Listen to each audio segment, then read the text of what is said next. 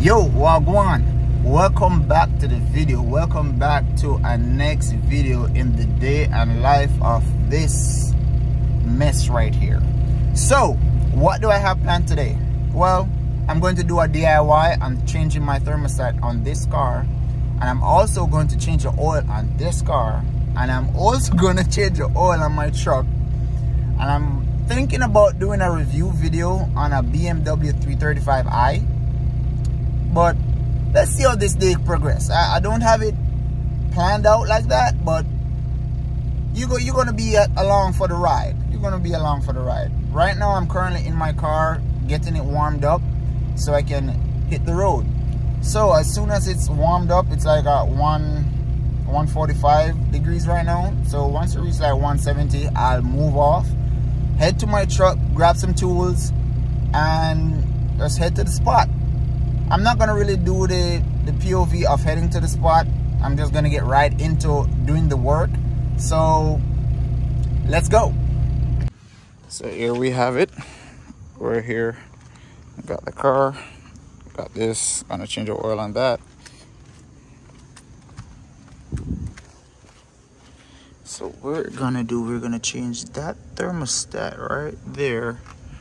I'm gonna change these two hoses right there and then come around to the damn I can't see it. That's gonna get that's gonna be hard to get to but I'm gonna change those as well. And um yeah. Let me show you the thermostat that I got.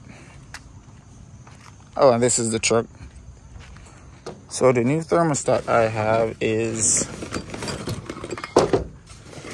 the new hybrid racing thermostat right? So let's get into it. So this is a new hybrid racing um, thermostat. It's not much to it but I think it's gonna look good on the car. It's swivel so you can you know really place it anywhere and anyhow you want and it comes with the OEM thermostat that you can replace if needs be. And you can actually put a port right here for your turbo setup if you want or you can just block it off with the bung that they supplied you with. It also came with hardware and you can swap this out for AN fitting or you can leave it with your standard hose fitting if you want so i think it's pretty nice. I actually like it. And um, yeah that's what i got. So let's get this thing installed any minute and get the show on the road. Let's do it. The next thing i have on the chopping block is these recirculation i mean the oil cooler hoses. I'm pretty sure i got the wrong part but we're gonna find out I got this off my other engine. Um, I'm just gonna swap it out for the, this is the, I think it's a recirculation hose. So that's, you know, it's pretty, it's in better shape than the one that I have. The one that I have has a huge slit right there. So I'm gonna swap it out. Right, let's do it. All right, so the oil change on that car is finished. The oil change on my car is going on currently right now. I'm currently draining the oil this car i'm not doing anything to it but that's a car we're going to be reviewing today. The truck oil is already finished so i'm i'm pretty i'm pretty much working fast. Um, i just want to show you the oil that i'm be i'll be running. It's the vr1 2050 now bear in mind i run this oil in the summertime or in the hot in the hot kind of weather. Um, so i will be doing a next oil change in probably November or December time and go to the VR1 um, 10W40 I think it is which is a thinner weight for the colder season. Um, I only run this oil in the summer just so you know. And I am running a K&N oil filter and this oil filter is actually made for uh, S2000 if you don't already know the S2000 has the same threading and the oil filter fits is just a bigger size capacity oil filter. And um, I just prefer running a bigger size oil cap oil capacity. So yeah that's that's why i'm running. If you're curious the part number for this is the K&N hp-1004 a bigger oil filter gives you higher oil pressure in your vehicle. So just so you know a little a little gem for you right there so let me get this finished finished up with the oil change and then i'll be installing the thermostat and getting rid of the hoses. O'neill over there will be holding the camera while i'm doing the the swapping out of the thermostat the hoses and all of the above. So let's get into it. All right. I'm going to bleed out the coolant that's in the car right now and get ready to swap my thermostat i'm to hand the camera over to o'neill and he's going to be my camera guy from now on. So this is my bucket. This is what i'm going to be putting the coolant in. And if you come here my drain plug is right here. So I don't know if you can see it or not but I'm gonna show you from underneath which is this. This right here. So I'm gonna open that get my bucket underneath let it start and once once it's started I'm going to pull my my coolant my radiator cap to get the airflow to get it out quicker.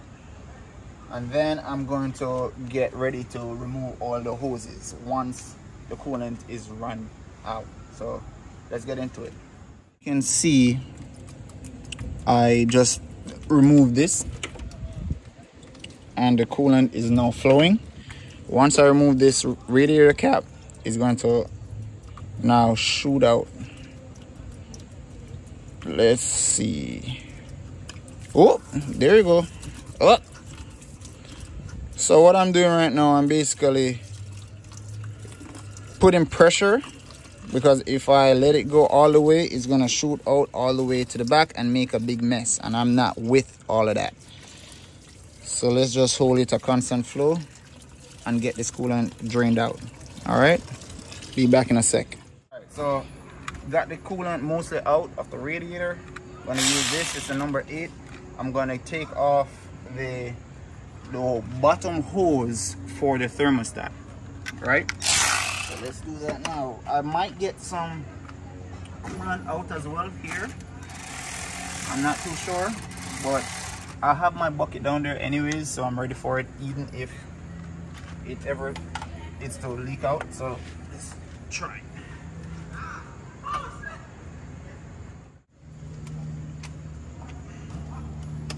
Oh, there we go. All right. Oh, not much coolant I'm just gonna kind of just put that hose in a corner right there. So if you can see now look here. It, my thermostat is completely free right now. So I'm to take my Allen keys and take off the housing got to find the exact size it looks like a number five maybe maybe not let's try it it is a number five so number five, Allen key. And take it off counterclockwise. Took out the three bolts and my thermostat is out. See? And the three bolts are put right here.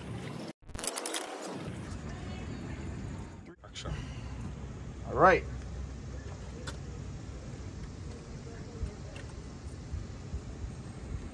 off. This is the main reason why I was changing this this hose anyways. If you can see there.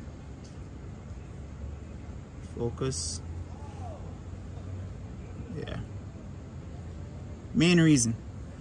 Now I have a next OEM hose. I got it off of my my engine uh next engine I had same thing. So I'm just gonna swap it. I think I'm gonna use these clamps I think it would work out better instead of the hose clamps so let's try it. All right so that hose is off now. I'm going to install the the thermostat. So let's get into it. The new thermostat looks. It's right here. I'm good on i'm good on it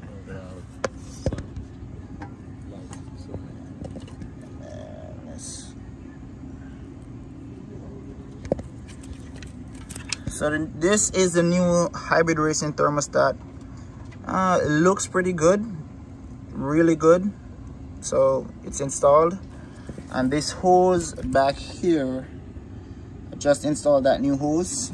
And then now I'm going to try and install these oil cooling hose around here. So yeah, let's get to it. So it turns out we're not going to do that oil cooler hose. It is not leaking. I just feel like changing it because it's probably long overdue to change.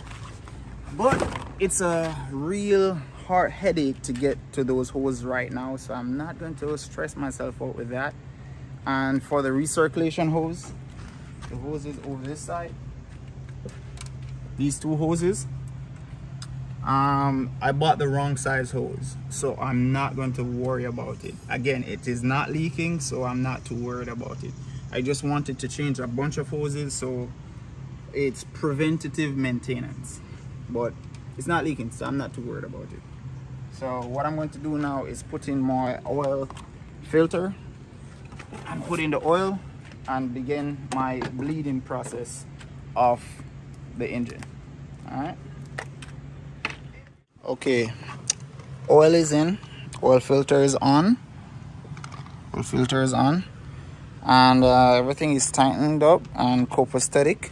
I haven't put any coolant in yet because I'm going to change my spark plugs first. So these are Iridium BKR 9 is it 9 yeah. Why? For some reason I thought I was running 8 so yeah BKR Iridium Spark Plugs 8. I mean 9. Why you keep on saying 8? Uh, am I sure these are brand new? I'm pretty sure they are. Uh, yeah, brand spanking new. Oh, BKR 8. BKR 8. I guess I'm I'm just putting it in the 9 box, but these are actually BKR 8, number 9, number 8. So yeah, I'm going to swap them out right now. I've been meaning to swap these out for the past month. Um, but I have the chance now, so I'm going to swap them out right about now. I'm going to put the phone on a tripod. Why not put it on a tripod and do what I'm doing? So these are currently what I had in. And my gosh, look at it.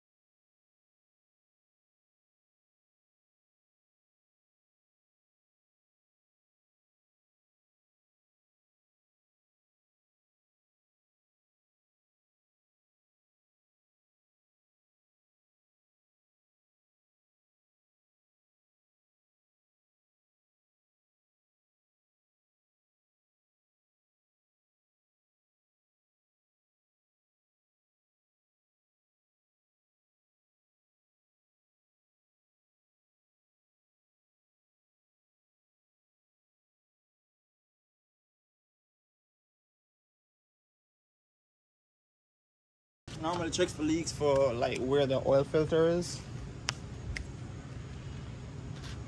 Let me just slide on back the tire real quick.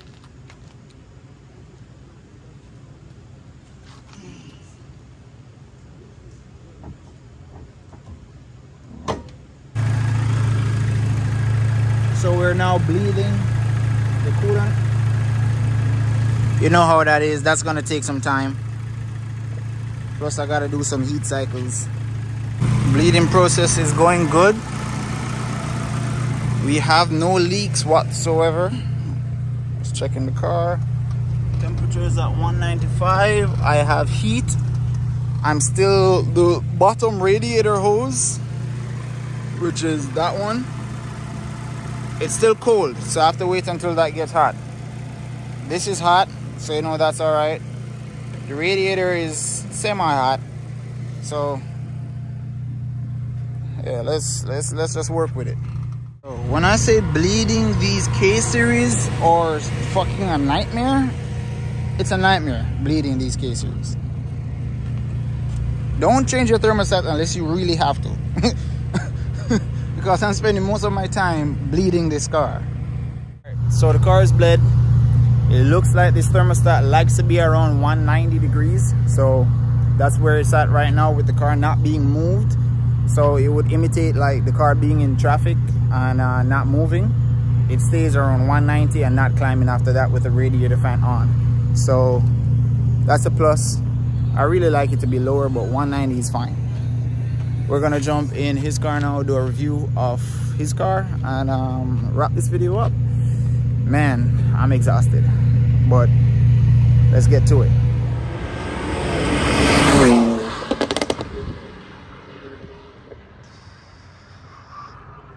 oh my God.